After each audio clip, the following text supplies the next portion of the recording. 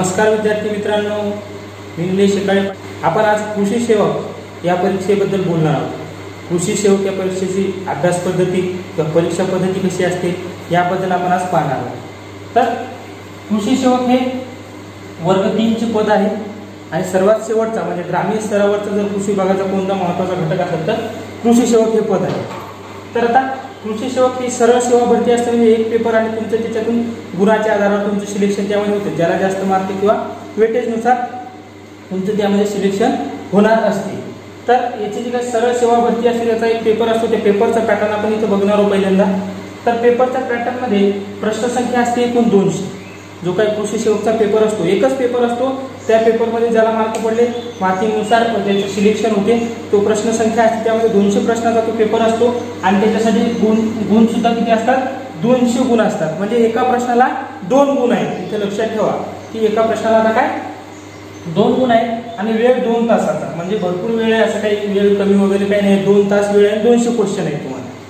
म्हणजे एकशे वीस मिनिटात तुम्हाला दोनशे क्वेश्चन सोडवायचे आणि एकूण आता काय? तर कृषी सेवक हा परीक्षा कोण कोण देऊ शकते? तर कृषी सेवक परीक्षा ही कृषी पदविका धारक पदविका म्हटलं इथं पदविका. पदविका म्हणजे काय? जे काही ऍग्री डिप्लोमावाले असते ते हे परीक्षा देऊ शकतात. नंतर कृषी पदवीधारक कृषी पदवीधारकमध्ये सुद्धा जो काही जी आर आहे त्याच्यानुसार कृषी म्हणजे ॲग्रिकल्चर हॉर्टिकल्चर फॉरेस्ट्री आणि कृषी अभियांत्रिकी म्हणजे काय?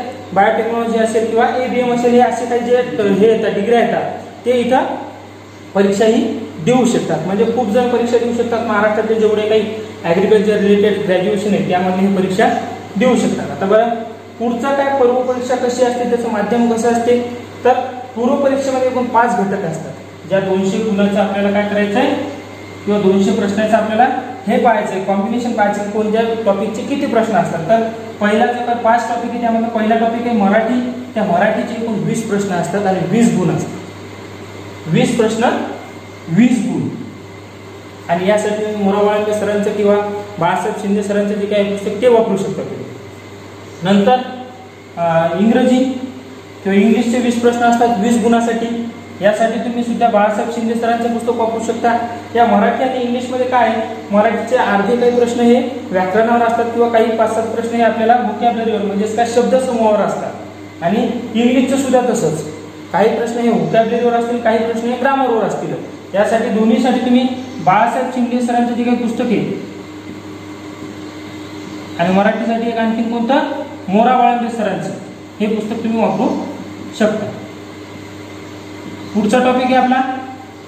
सामान्य अध्ययन. सामान्य अध्ययन म्हणजे काय?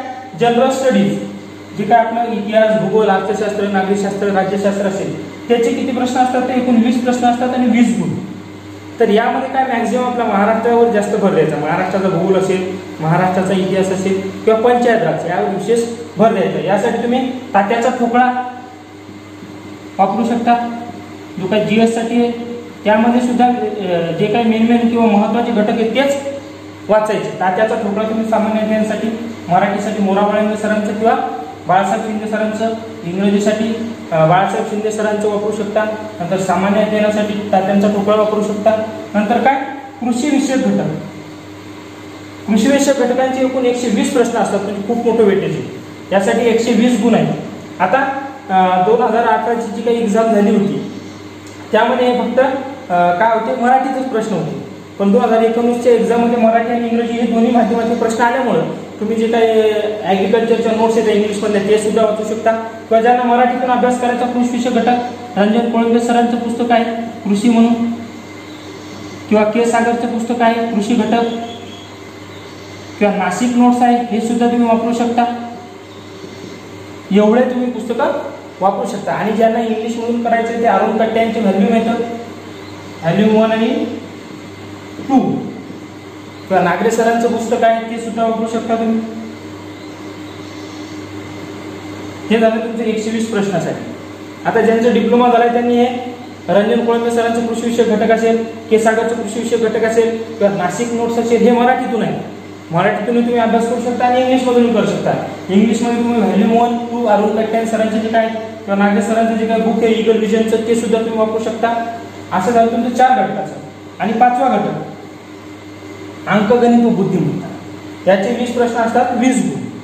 यासाठी तुम्ही काय जे काही जुने प्रश्न आलेले आहेत किंवा जुने जे काही एम पी सीला असतील किंवा वेगवेगळ्या परीक्षेला जे काही प्रश्न आले ते तुम्ही पहिल्यांदा सॉल्व्ह करून पाहायचे किंवा त्यामध्ये जे काही घटक विचारले आता कृषी सेवेचे पूर्व परीक्षेचा प्रश्न किंवा कृषी सेवकची जी काही परीक्षा झाली याच्या अगोदरची. त्याचा प्रश्नसंच आहे आपला. त्याच्यातले तुम्ही गणित सोडून पाहू शकता. बरोबर? आणखी पंढरीनाथ राणे सरांचं पुस्तक आहे ते वापरू शकता. किंवा नितीन महाले सरांचं मॅजिक ऑफ मॅथमॅटिक्स आहे ते वापरू शकता. किंवा अनिल अंकलगीचं जे काही बुद्धिमत्ता आहे ते वापरू शकता.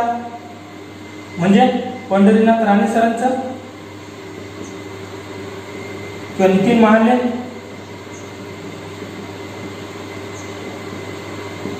या दोन्ही तिन्हीपैकी तुम्ही कोणतेही एक बुक रेफर करू शकता.